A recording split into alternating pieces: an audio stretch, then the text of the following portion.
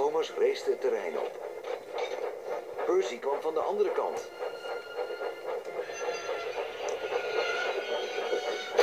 Thomas botste tegen Percy aan en de vlaggetjes vlogen de lucht in. De wagons van Percy waren ontspoord, net als die van Thomas. Je hebt mijn vlaggetjes vernield, jammerde Percy.